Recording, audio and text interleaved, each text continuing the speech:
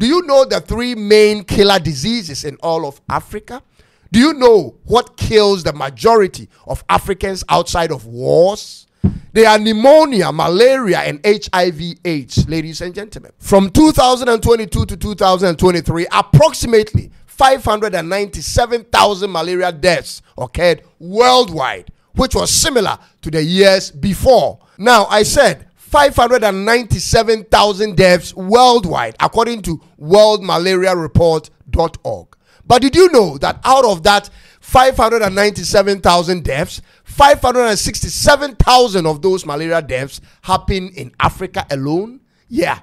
95% of malaria deaths recorded in the world happens in Africa. And when you do your math right, ladies and gentlemen, you come to 1,554 deaths in a day in Africa from mosquito bites alone. Wars don't even kill as much in Africa. Mosquito bites are more dangerous than guns in Africa. How can our cities, therefore, be livable when we cannot solve a simple disease like malaria? All around the world, mosquitoes exist.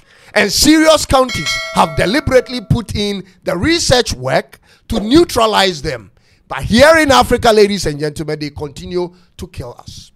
And what's more shocking is the latest reports don't even put malaria at the top as the number one killer disease in Africa, ladies and gentlemen.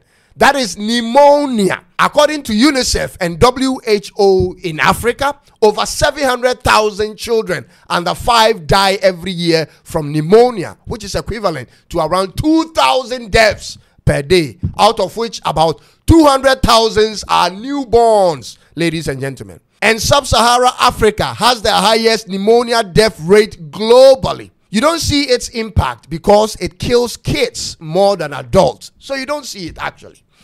So the question is what problems have our leaders been solving all these years? Because these numbers have been consistent in the last decade, for your information. Pneumonia is killing us, so is malaria and HIV/AIDS. Millions of our people are walking around with the HIV virus, which they don't even know, ladies and gentlemen. In fact, if people cared to check for HIV like they did for malaria fever on the regular, we'll be shocked with the percentage of the population that's waiting in line to die.